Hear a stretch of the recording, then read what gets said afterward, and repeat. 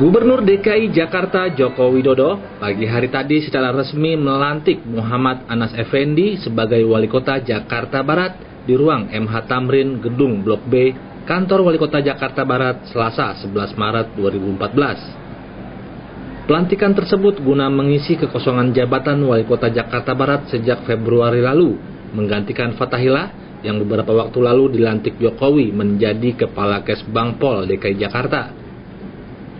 Seperti diketahui, dicopot sebagai wali kota Jakarta Selatan dan dimutasi ke Badan Perpustakaan dan Arsip Daerah DKI Jakarta, Anas Effendi mampu mengikuti irama dan bekerja sesuai harapan Jokowi.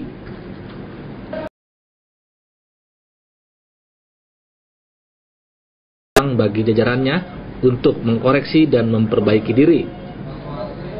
Sementara itu, dalam pidato singkatnya, Jokowi mengatakan ada empat prioritas permasalahan yang harus segera dituntaskan oleh Wali Kota Jakarta Barat yang baru dilantik, yakni revitalisasi kota tua, penataan lingkungan di kawasan Tambora, masalah rumah potong hewan atau RPH babi di Kapuk dan Kalijodo.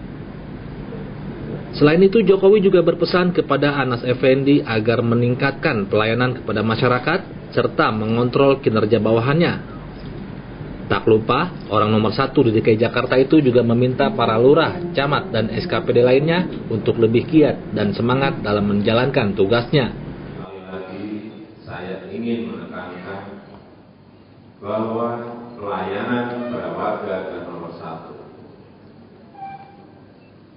Dalam hal apa pun, dalam hal apa pun. Saya selalu menyampaikan orientasi kita sekarang ini bukan orientasi prosedur. Orientasi kita sekarang ini adalah orientasi hasil. Hasilnya yang dilihat, bukan prosedurnya yang